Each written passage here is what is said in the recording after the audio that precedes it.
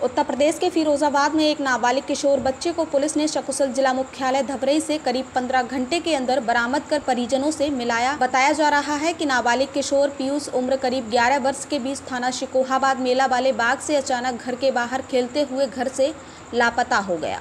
वहीं बच्चे के परिजनों ने काफ़ी खोजने के बाद थाना शिकोहाबाद पुलिस से शिकायत के बाद तुरंत थाना प्रभारी प्रदीप कुमार के नेतृत्व में टीमें गठित कर पुलिस ने मात्र 15 घंटे के अंदर बच्चे को जिला मुख्यालय धबरई से सकुशल बरामद कर परिजनों से मिलाया।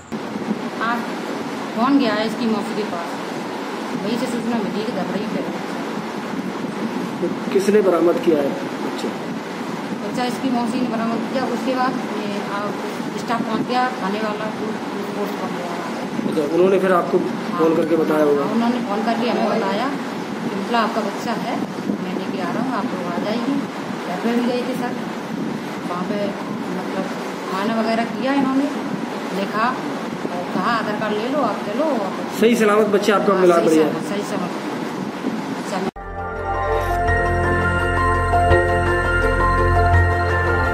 देखते रहिए डीवी भारती समाचार।